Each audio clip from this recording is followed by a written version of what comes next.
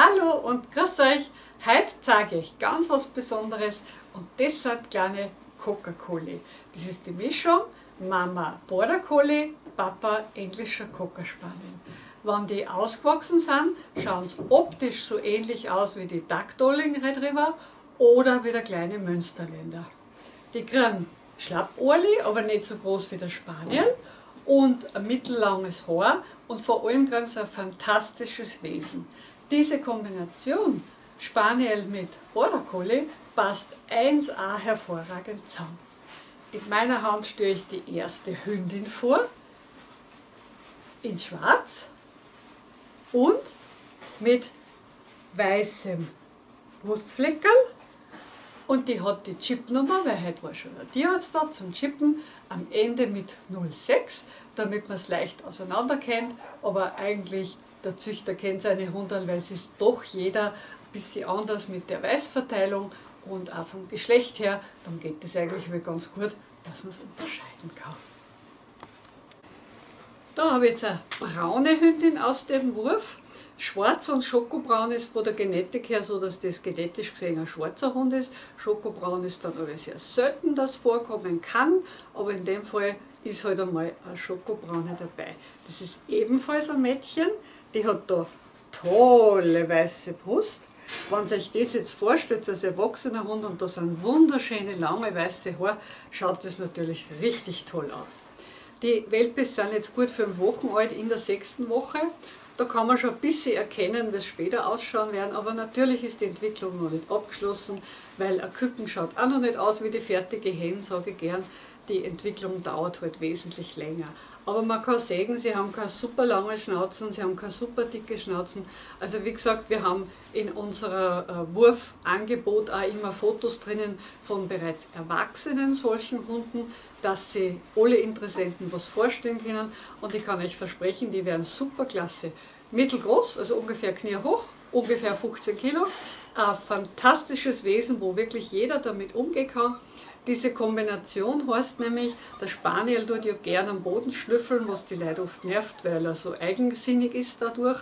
Das fällt weg durch die Border Collie Gene und der Border Collie tut eben gerne hüten oder fürs Aufpassen und das fällt wiederum weg durch die Spaniel Gene. Also diese Zusammensetzung der zwei Hunderassen passt einmalig.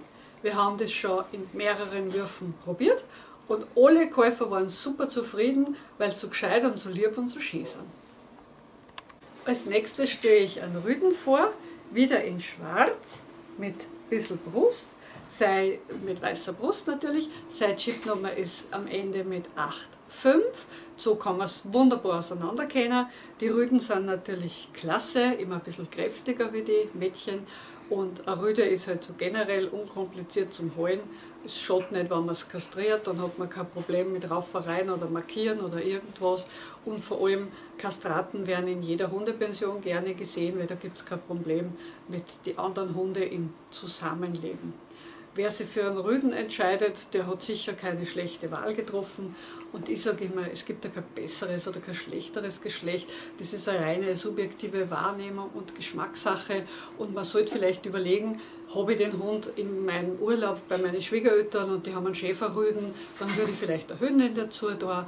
Und je nachdem, wie halt das Leben und Umfeld in eigener Familie und für die Zukunft des Hundes ausschaut, danach sollte man seine Wahl treffen.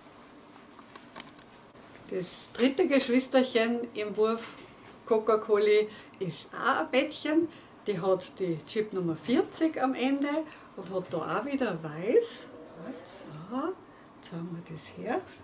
Das ist bei allen Welpen eigentlich, dass sie eine weiße Brust haben, die einen mehr, die anderen weniger. Das hat sie halt vom Border Collie durchgehabt.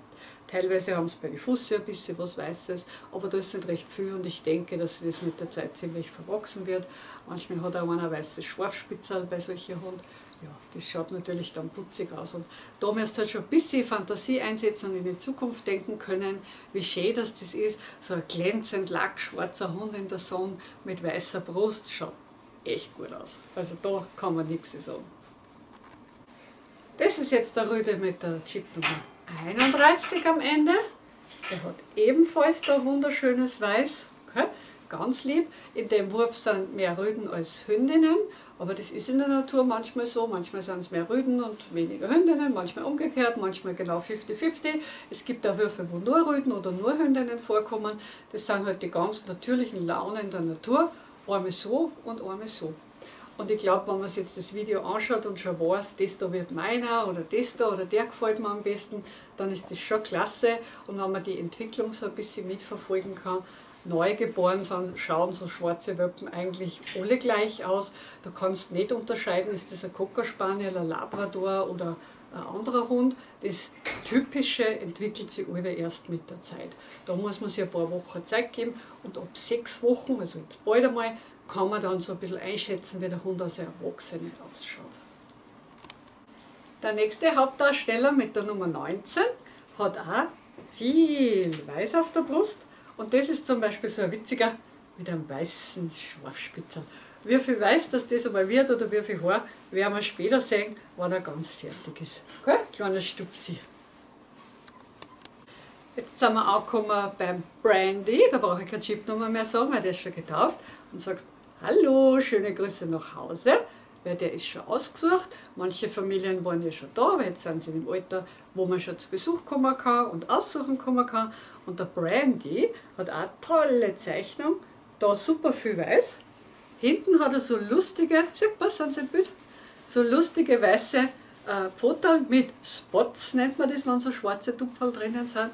Das hat natürlich nichts mit Münsterländer zu tun, weil ja kein Münsterländer dabei ist, aber die haben das auch typisch. Und ein weißes Schwarfspitzel, was ihn besonders keck und frech macht.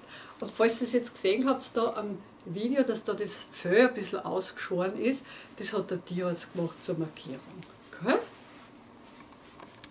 So, das Beste kommt ja bekanntlich zum Schluss, das ist der 45er. Der ist zwar schon ausgesucht, aber noch nicht getauft.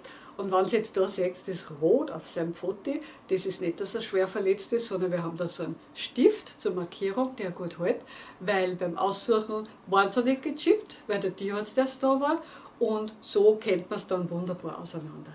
Ich zeige euch auch seine schöne Farbe, große weiße Brust, super Muster auf die Pfoten, weißes Schwarfspitzel, freches Gesicht, so wie man es sich vorstellt.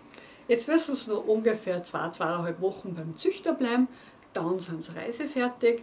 Kommt halt dann darauf an, wie schnell die Besitzer sich Termine ausmachen, wer holt als erstes, wer holt als letztes. Man macht es üblicherweise so, dass nicht alle an einen Tag geholt werden, sonst ist das zu Schock für die Mutterhündin. Die muss sich auch langsam daran gewöhnen, dass sie wieder ihre Freiheit genießt und wieder ihren üblichen Alltag dann vor dem Fernseher im Wohnzimmer verbringen kann und sich nicht mehr um die lästigen Schrotten kümmern muss. Und wir zwei sagen jetzt noch Tschüss, Baba, wir sehen uns dann später wieder mal. Tschüss! Ich zeige euch auch noch kurz die Mutterhündin. Die ist wirklich sehr lieb und sehr brav. Und ihr müsst euch jetzt in die Situation der Hündin versetzen. Ich bin fremd, unser Kameramann ist fremd, ein Scheinwerfer haben wir da stehen, die Wölpen sind im Hintergrund und sie lässt es trotzdem gefallen, dass ich auf meinen Schoß nehme. Eine zickige Hündin zwickt die da gleich einmal und sagt, hau ab, das passt mir nicht aber sie macht das ganz gut. Und vielleicht schaffen wir so, dass sie uns ein freundliches Lächeln schenkt. Gib Trixi, schau, dann noch was mit. Aber meine Lecke interessieren sie jetzt gerade auch nicht. Da hebe mal deinen Kopf und sag her, was du für hübsche Maus bist. Du bist ja so brave. Ja, die Trixi ist ja so eine brave. Ja, super Hundi. Seht ihr, wirklich ein freundlicher, lieber Hund. Und der Papa Rüde ist genauso klasse. Den habe ich da jetzt auf dem Video nicht drauf, weil der gehört nicht her ins Haus. Aber von dem gibt es auch Videos und Fotos und das schickt man natürlich die Interessenten gern und jederzeit. Und dann sind wir jetzt wirklich durch mit dem Video für heute und sagen Tschüssikowski, wir sehen uns dann beim nächsten Mal. Baba!